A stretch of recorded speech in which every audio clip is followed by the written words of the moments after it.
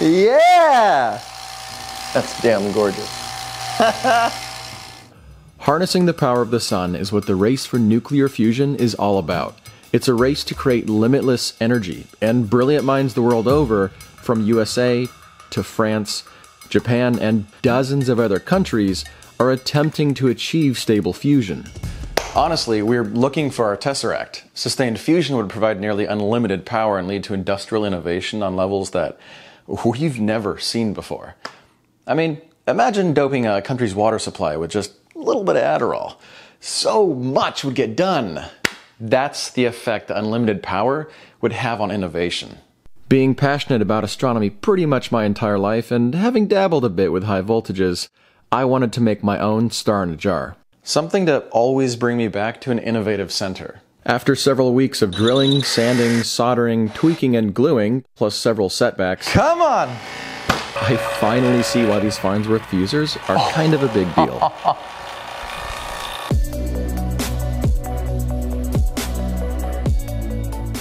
Now, if you haven't seen the news lately, nuclear fusion is kind of back on the menu. From the joint European Torus recently doubling its own energy record, to the Lawrence Livermore National Laboratory improving their energy yield by 800%, to the Max Planck Institute fixing plasma instabilities, we're overcoming the wall of hurdles this power source throws at us. But it's amazing that we're trending towards sustained fusion, at least, you know, basically controlling the power of a star. And after you've watched me try to build a star in a jar, I highly recommend you head on over to brilliant.org to learn how fusion takes place in our own sun. Let's take a look. Their astrophysics section is on point and involves physics basics, astronomical measuring techniques, star life cycle and nuclear fusion, as well as interstellar travel and exoplanets. The energy production in STARS course gets right to the point and covers why atomic nuclei sometimes need a bit of a push in order to fuse, and how that spells power output. It's full of interactive animations and graphics, and it asks thought provoking multiple choice questions. If you get a question wrong, it breaks down the correct answer for you so that you walk away learning a thing or two. Brilliant's honestly an incredible way to learn physics and science interactively, and topics range from mechanics and electronics to quantum objects, gravitational physics, and even advanced calculus. They legit have thousands of lessons with exclusive new content added monthly. Personally, I've been using it to kind of brush up on my understanding of fusion, and ultimately, it's kind of helped with the science that you're about to see.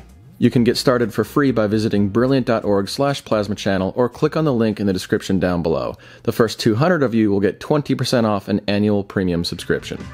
So, in the middle of the groovy 1960s, one of the inventors of digital television had a bright idea for producing sustained nuclear fusion. He called that idea the Farnsworth fusor. Now, how fusion works in the first place is actually pretty remarkable and can be achieved in a couple of different ways. You can use intense lasers with a heated inertial confinement, such as LLNL setup, or a ring of plasma with magnetic confinement, as with ITER's setup, but they both have the same goal to fuse individual deuterium and tritium atoms into one larger mass of helium. And when they fuse, a small percentage of mass is actually lost in the process. It's like this disgusting tomatoes.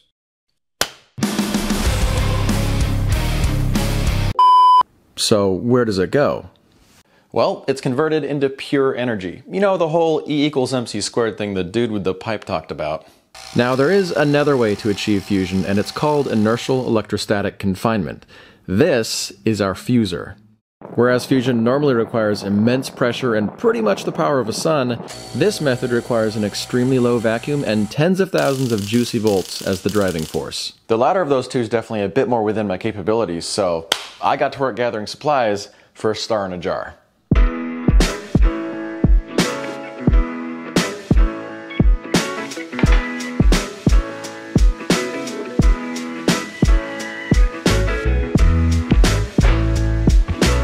Now, I've never worked with vacuums before, so pretty much everything about this project was new to me.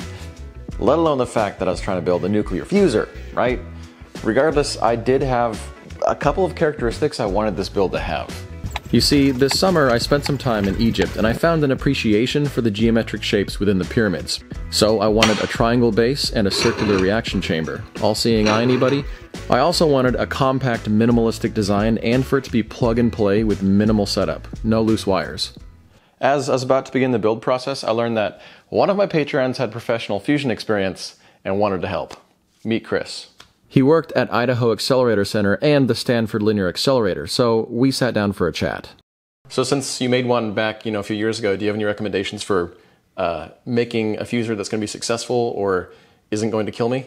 So successful and not killing you, I think kind of fall in two different categories here. Keeping kind of short distances between things with shutoff valves is actually really helpful. The biggest reason why you need that vacuum is because you need a free mean path for your ion.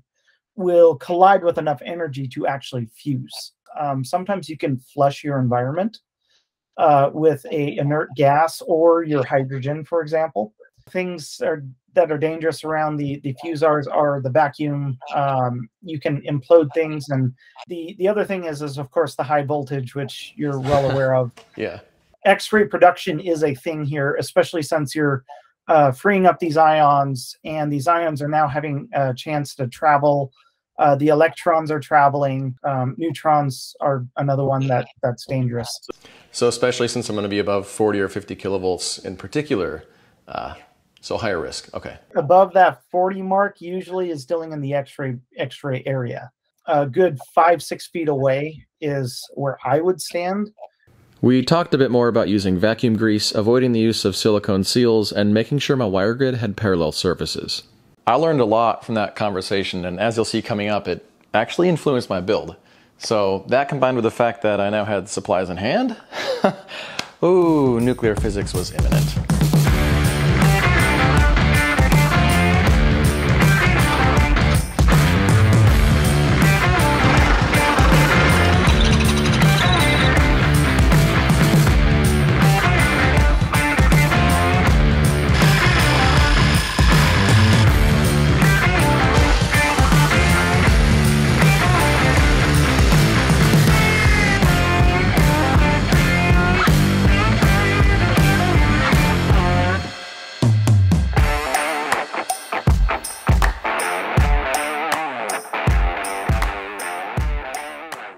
Okay, putting it all together, the physical part of the build is complete. You can see I used juicy nuclear green and it's pretty minimalistic in design. And once I add gaskets, this will be all set up for a vacuum. So onto the power source next. I plan to run my fusor at more than 50 kilovolts DC, and to provide that kind of voltage, I'll need to use a voltage multiplier fed by an external high voltage source. That is what this space is for, so that I can build a voltage multiplier right into the base, making it more compact.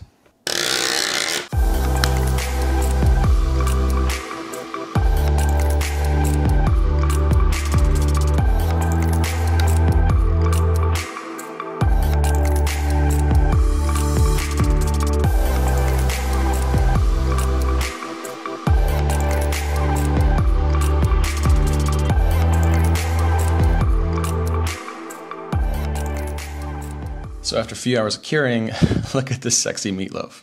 You gotta love what epoxy does. It, it protects high voltage components, but it also looks nice, right? And the multiplier fits perfectly in the base. After adding some connections, this little nuclear bundle of joy should be good to go. I hope. And here it is with all connections in place. Okay, the way I see it, there's three separate tests to run. First, does the multiplier produce high enough voltage?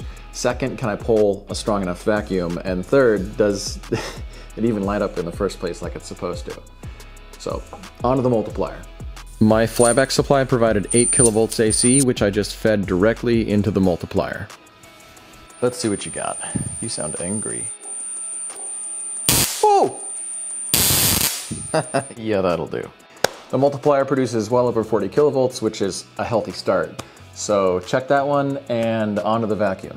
Busting out the pump, I connected the tubing on both ends and hoped for the best. Let's go, baby. Okay. Come on. Come on.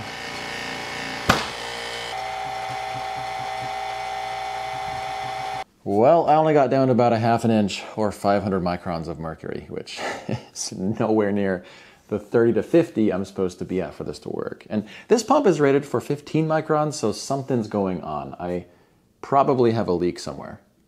Considering silicone really isn't the best seal for vacuums, that alone could be the problem. So I headed to my local mom and pop store to sort through different types of rubber and find myself some Vitron, which came highly recommended. Here's the old silicone that really didn't cut it, and here's the new Vitron seal, or Vitron, however you pronounce it. You can see it's a lot stiffer, so hopefully that makes a difference. Oh, let this be the day.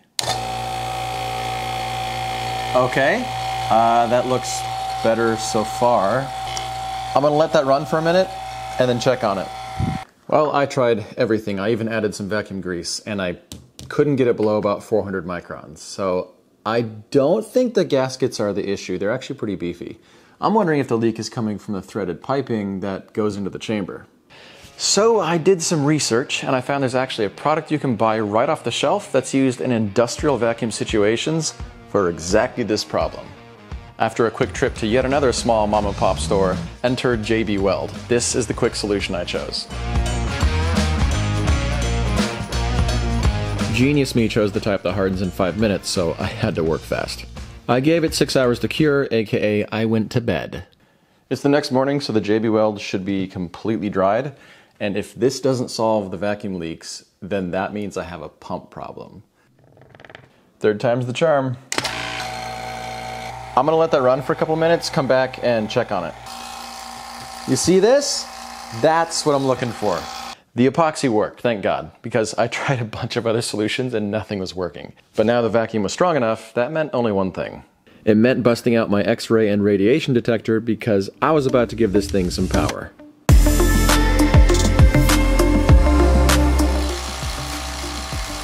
Ah, hello! yes.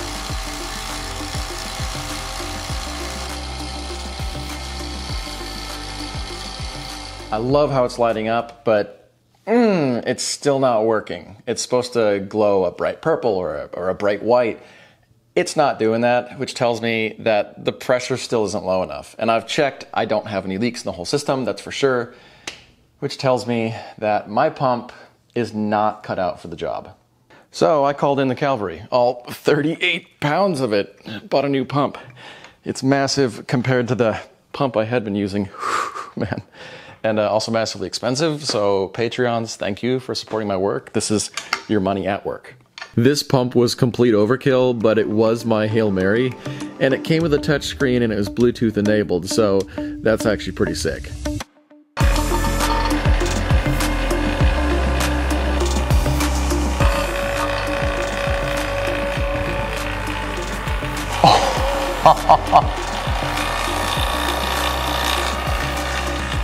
Damn. That's damn gorgeous. Considering that was pretty epic and it was just using atmospheric air, I wanted to spice things up a bit by injecting a little bit of helium. Let's go for helium. Oh, it's more, that's way more diffuse. Dude, that's so much brighter. That's so much brighter. Through all my tests, I found zero radiation, but that's all going to change in the next video when I inject deuterium and tritium, so consider subscribing. I did film this video in two different locations while moving to a different city, so that kind of added some complexities to the build, but oh well, right? Ooh, and merch. Uh, the shirts that I've been wearing are available online. I'll leave a link down below, and I have a bunch of new designs coming down the pipeline. A huge thank you to Brilliant for sponsoring this video, to Chris for his help, and to all of my Patreons who patiently support my work. Let me know your honest thoughts down below, and you, stay classy.